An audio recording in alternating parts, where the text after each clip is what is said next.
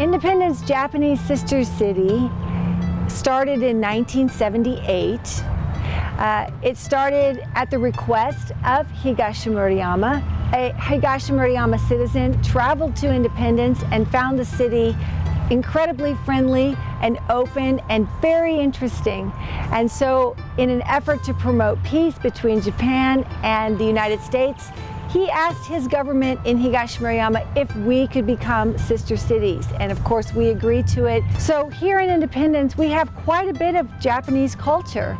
Our Japanese garden at City Hall was built in the 80s, a project with the gardening club of Higashimurayama came over to help set the stones and build the path and now the committee takes care of it in partnership with City of Independence Parks and Rec. The Community of Christ Temple, designed by a Japanese architect, also has a Japanese garden. In front of the Community of Christ complex is the United Nations fountain.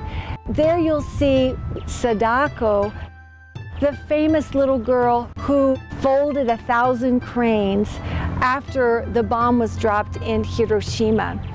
The street right in front of City Hall is named Higashimurayama, and they have Independence Street right in front of their City Hall in Higashimurayama.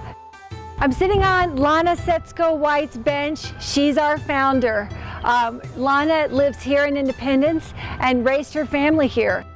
It was Lana who started the whole relationship between Higashimurayama and ourselves. Our connection with Japan as a country has come a long way. A lot of that has to do with little programs like the Independence Japanese Sister City. We connect citizens to each other through friendship. Just by staying in each other's homes, we have gotten to know and really love each other and the differences and also the similarities between us.